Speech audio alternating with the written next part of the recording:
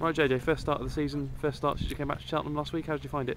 Uh, yeah, it was a bit. It was, uh, it was enjoyable, obviously, but it was a, wasn't a very nice game to play in. As in, they just really kicked along and got stuck into us really. But uh, I've never really played the position either that I played in, so it was a bit of an experience really.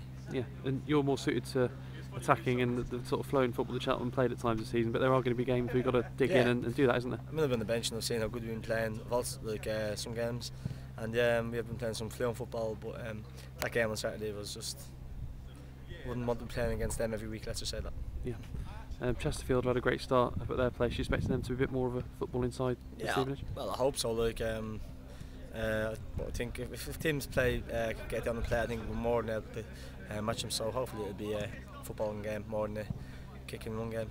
Yeah, and I suppose the key is combining that attacking play with the, the, the ability to grind results that I did last week. If you Yeah. can do both, then you've got a chance in this I league. mean, like, look at every uh, all good teams can mix it, like play play good football and um, good nitty gritty sides of it. So I think we're doing all right at the moment, but I don't want to say too much because it's a long, long way to go in the Yeah. season.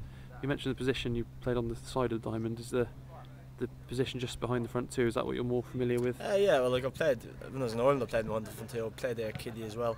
Um, but uh, yeah, I- I mean, I'm happy to play wherever, you know, as long as, as long as I play, really, to be honest with you. So Yeah. whether I play right back, left back, Yeah. centre half, behind the front two, or wherever, I'm happy to play anyway, really. Yeah, obviously Frankie Artus is going to be out for a while with his injured leg. And do you feel like hopefully you, hopefully you can take over some of the playmaking responsibilities with Frankie out? Yeah, I think if I get the ball, like get on the ball, um, I can make things happen. Hopefully, like you know, and a bit of luck, um, get a few games. Hopefully, get a few run of games and show what I can do. Yeah, the Diamonds work really well at home. Obviously, won all three games at home.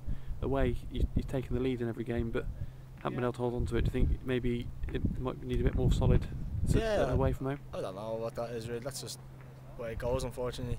But uh, hopefully, we can get um, a, a good result on Saturday and you know, dig in. Yeah, it must have been a good feeling to, to win that game last week because it was so tight and they probably had the better of the first half. Yeah, as the gap said after the game, it was the best win of the season. He thought because we, you know, we mixed in with them and we uh, got stuck in with them.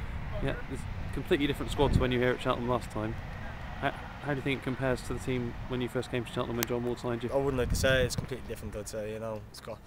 You know, it's hard to say as well. I've only been here six, seven games, like so. Yeah. I say three years last time, so I wouldn't really like to say.